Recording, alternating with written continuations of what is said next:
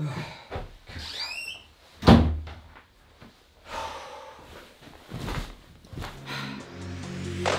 back in England. Yeah, so I'm back in England and um, one second. That's better.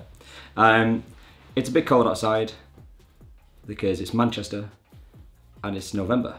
You guys have asked me to do a video addressing all the different questions you had about the storm video. I know it's taken a long time. I apologise. I I need to stop procrastinating. Oh, sorry. Yeah, so I'm bad at that. Um, so yeah, I'm gonna go through the questions for you guys. Here we go. So, which ship was I on? I was on the Anthem of the Seas, which is a Quantum class ship from Royal Caribbean. Uh, I'd been on that ship for one day, and uh, the next day we hit the storm. So the ship is a Quantum class ship. It was christened in 2015 in Southampton, England. And it was actually my second Royal Caribbean ship. I did a contract on the Brilliance of the Seas first of all, then went up to the Anthem, and my second day was the Storm. The Anthem of the Seas is uh, based in New Jersey. Most of the time, it goes on to the Caribbean. It has been going to Cuba as well. Uh, I sadly missed out on going to Cuba, which is a bit sad. But you know, I've, I've been very, very lucky in going to the places I've been to, which we'll get into later. The ship holds about 4,180 guests. That's called double occupancy. Um, but actual maximum is 4,900.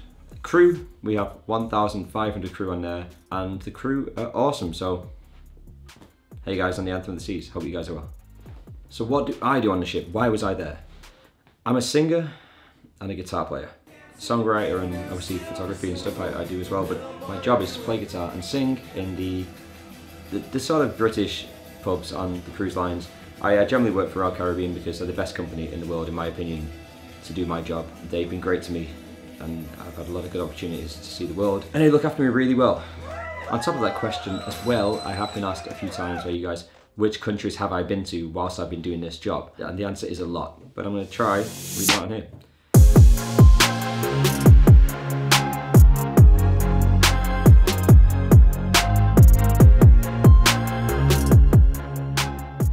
I've been to a lot of different places and that is one of the best parts of my job. It's amazing meeting all the people that I meet. Traveling is, is just phenomenal and it's such a good education. I think you learn a lot about yourself the more you travel. It's getting a bit warm in here though, so just give me one second. Perfect, thank you. Where did the storm take place? Well, where and when, we'll do them both together. It was the 7th of February 2016. The ship was based in New Jersey at the time, and we were traveling down to the Caribbean. So we're in our second day, just off the coast of North Carolina near Cape Hatteras, I believe it's pronounced. And it hit us pretty early in the morning, which leads me on to the next question. How long were we in the storm? We were in the storm for about 14 hours. Some parts were worse than others. We were facing into the wind quite a lot. There was a little bit of damage done to one of the Azipods, as I'm sure you know, um, and a little bit of cosmetic damage around the ship, but nothing major, which is testament to the construction quality of these ships. It's, it's just amazing what they can do now. Even though the ships are pretty high in the water, they, they deal with this stuff really well. So that's how long it was. It was quite a long time. Good No. I was on deck three. On deck three, you have fairly big windows, as you can see. Uh, some of the decks above have balconies. We also have inside staterooms, and on, on the huge ships, there are inside staterooms that look into parks and things. It's amazing. Um, but with my room, no, you can't. You can't open that window. You, can't. Right. It's cold and it's wet outside. I feel like a bit of a change of scenery, and then we'll get back to the next one. So, two secs.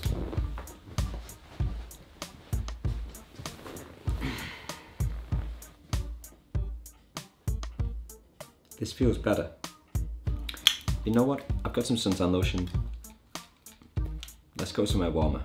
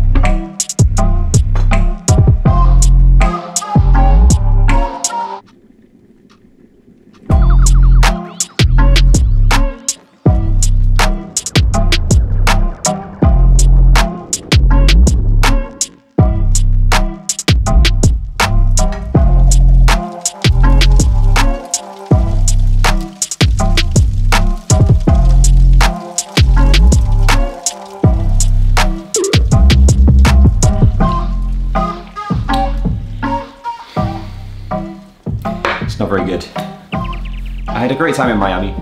It was amazing meeting new people from Royal Caribbean's media department, made some new friends and we created some awesome content out there. If you're from Miami, it's an awesome city that still has a lot of my money. Anyway, back to the questions. A lot of people have been saying that there's no way it could be 120 mile an hour winds and I don't know how you can come to that conclusion by actually looking at this video because I don't think it's very clear. On the ship there's a lot of very expensive fancy equipment. It's way more intelligent than I am. You have a TV channel that will show you the position of the ship. It will also tell you different bits of information like the speed and knots the ship is going and distance traveled and all that sort of stuff. And it also shows the wind speed. On the front of the ship, we have a, anemometer, anemometer, a nemo, a nemo, a anemometer, a anemometer, a nemo. We have an anemometer on the front of the ship that gives you the wind speed basically to the bridge. This doesn't happen very often, but we do have certain things in place. So when it gets to a certain point and the sea state got too rough and we're moving too much, the captain made sure that everybody went back to their staterooms our cabins, crew and guests. We were kept updated by Tannoy and later on in the day they showed videos from the bridge with the cruise director Abe who's just had a kid so congratulations Abe and the captain and uh, I think they did a fantastic job of keeping everybody informed and letting us know what was going on and yeah it was, it was very interesting to watch actually I wish I'd recorded some of it but I didn't.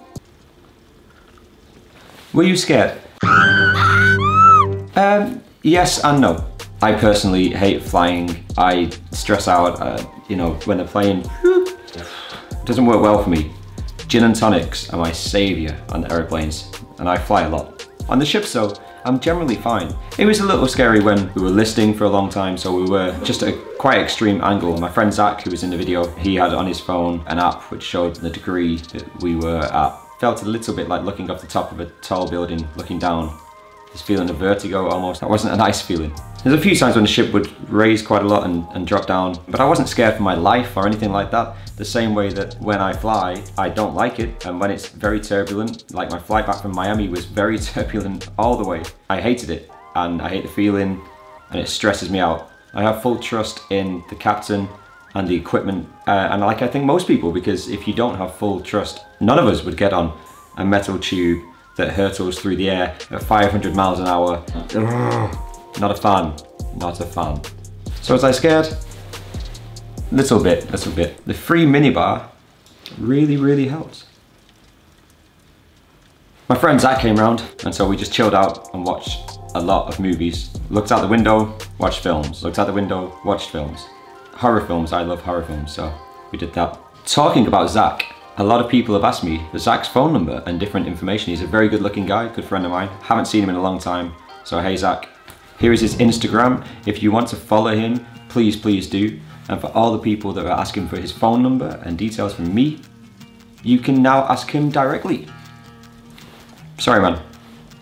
So a lot of people thought that I faked it somehow, that the window was a huge television or even green screen. So it's all filmed on this the iPhone 6s Plus. There's no color grading, there's no special effects. I did it on here on iMovie. It's amazing, it's tiny little sensor. So yeah, that's it. I mean, I have the new iPhone 11 Pro Max now, which is awesome. But yeah, so that's all I had. If I did have a green screen, I don't even know how to use a green screen. But if I did, I would have added a shark or a sea monster or something like that. It's just to make it more interesting, to be honest. That's probably what I would have done. How did I promote the video to get so many views?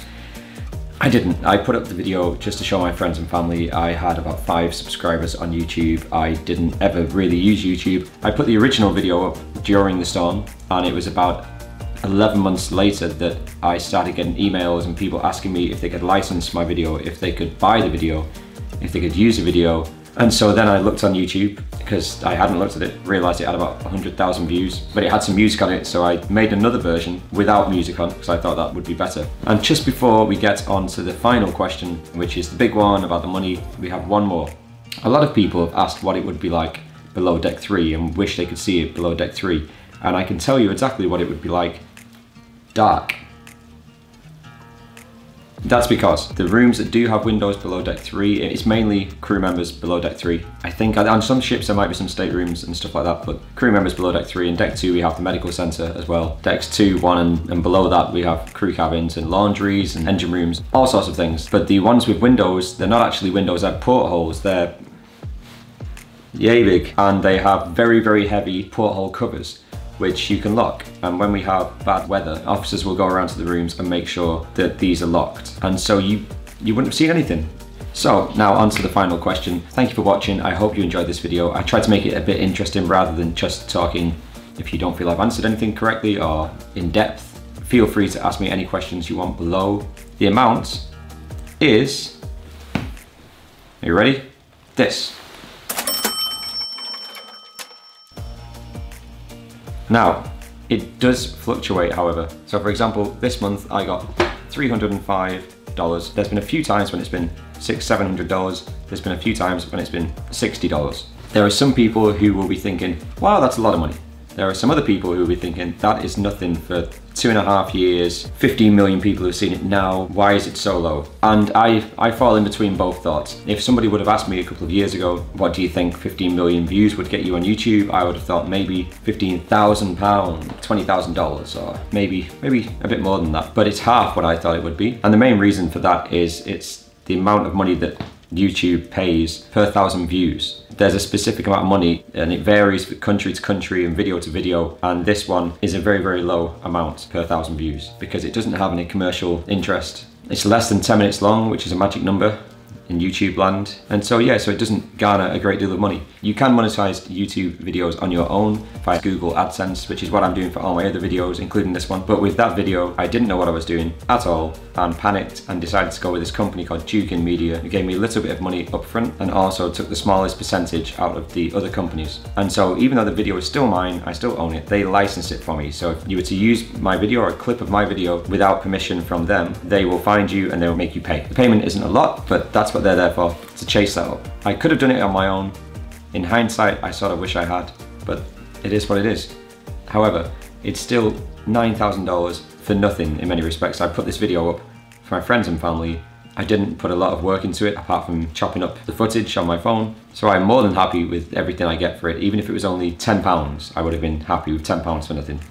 But it's given me the opportunity to make this video and hopefully some other videos. There's a few things I've got in mind. Thank you very much for watching and hopefully see you on my next video. Thank you guys. See you later.